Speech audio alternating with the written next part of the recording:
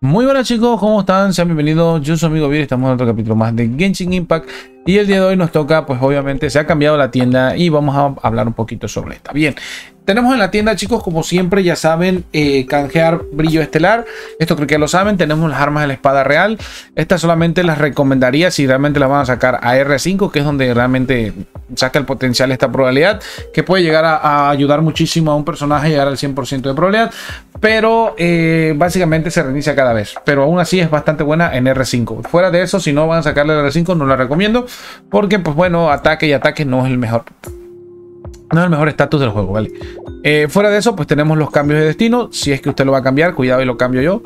Eh, en este caso yo voy a sacar mi Amber, por fin voy a tener mi Amber C5 y futuramente también vamos a tener a la Amber C6 también en el canal y vamos a traer para ver un gameplay o algo de ella. Eh, de esto también, chicos, recuerden que pueden cambiar sus deseos.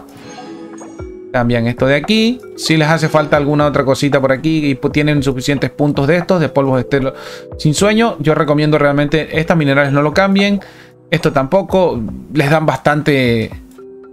A menos que realmente necesite, los compre, pero les dan bastante en eventos y cosas así. La mora sí si les hace falta, en mi caso ya no me hace falta, tengo demasiada mora, por lo cual no tiene caso tener esto. Si les hace falta algún material porque tienen hueva y no tienen tiempo de conseguirlo, pues bueno, lo pueden conseguir aquí. Eh, y por último, pues bueno, ya saben lo siempre, cambiar sus deseos aquí, ¿vale? Y pues nada, esa es la tienda. El Razor, si realmente les hace falta un Razor, ya salió un nuevo Razor, este quedó pochito. ya salió su hermano mayor de 5 estrellas. Y pues bueno chicos, nada, nos veremos hasta la próxima, cuídense. Bye.